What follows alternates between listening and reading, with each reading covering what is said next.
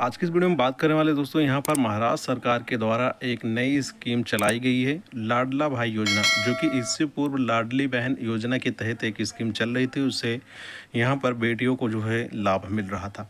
अब इसमें जो है महाराष्ट्र सरकार की तरफ़ से दावा किया जा रहा है कि बारहवीं पास विद्यार्थियों को मिलेंगे छः हज़ार रुपये और डिप्लोमा और ग्रेजुएट को कितने दिए जाएँगे, आपको इस वीडियो में बताने वाले हैं। वीडियो में बने रहे मेरे साथ दोस्तों, वीडियो आपको पसंद आए, लाइक कीजिएगा। पहली बार चैनल पर आए, सब्सक्राइब कर बेल आइकन प्रेस कर लीजिएगा। साथ ही हमारे टेलीग्राम चैनल से भी ज्वाइन हो लें, आपको वीडियो की अपडेट सबसे पहले मिलती रहती है। यहाँ पर दोस्तों आपको बता दें कि बारहवीं पास को हर महीने मिलेंगे छः हज़ार डिप्लोमा ग्रेजुएट को इतने पैसे मिलेंगे। सीएम एकनाथ शिंदे ने कहा कि सरकार की नज़र लड़का लड़की में फ़र्क नहीं है या योजना बेरोजगारी का समाधान लाएगी। लाडला भाई योजना में युवाओं को फैक्ट्रियों में अप्रेंटिसशिप मिलेगी और सरकार की तरफ़ से उन्हें वजीफ़ा भी दिया जाएगा। अब ये न्यूज़ है दोस्तों, यहाँ पर देख पाएँगे सत्रह जुलाई की। अब इसमें देख सकते हैं कि लाडली बहन योजना की तर्ज पर ही महाराष्ट्र सरकार ने लाडला भाई योजना का ऐलान किया है। इस योजना के तहत बारहवीं पास विद्यार्थियों को छः हज़ार रुपये मिलेंगे, डिप्लोमा धारकों को आठ हज़ार रुपये और ग्रेजुएट की डिग्री प्राप्त कर चुके विद्यार्थियों को हर महीने दस हज़ार रुपये दिए जाएँगे। महाराष्ट्र के मुख्यमंत्री एकनाथ शिंदे ने इस योजना की घोषणा की है। शिवसेना ईबीटी प्रमुख उद्धव ठाकरे ने हाल ही में युवा बेरोजगारी का मुद्दा उठाया था, जिसके बाद सरकार ने लाडला भाई योजना की घोषणा की है।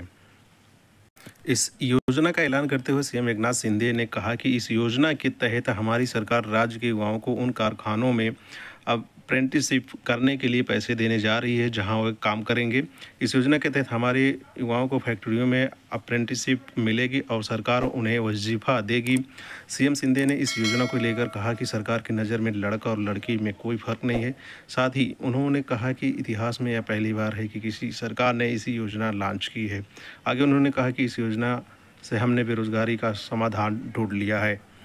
तो हालाँकि दोस्तों, ये स्कीम के बारे में अभी सिर्फ़ योजना को रखा गया है, लागू किया गया है, लेकिन अभी जो है, इसके लिए ऑनलाइन आवेदन प्रक्रिया नहीं चालू हुई है।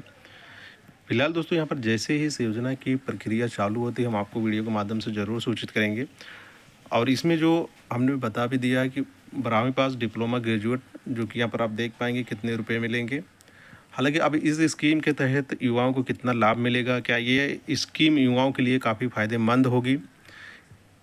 अब ये आने वाली स्कीम के तहत ही पता लग पाएगा। क्योंकि दोस्तों, यहाँ पर अगर जो है, इन जो है, स्कीमों पर ज़ोर ना दे करके दोस्तों, यहाँ पर एजुकेशन पर अगर ज़ोर दिया जाए, यहाँ तक कि काफ़ी बच्चे जो है, ऐसा भी यहाँ पर कमेंट करते हैं कि हमें जो है, स्कॉलरशिप वगैरह भी ना दिया जाए, लेकिन हमारी शिक्षा को उच्च व्यवस्था दी जाए। तो ऐसे में इस पर ज़ोर दिया जाए तो काफ़ी बेटर रहेगा, क्योंकि शिक्षा के माध्यम से कहीं पर भी नौकरी वगैरह कर सकते हैं।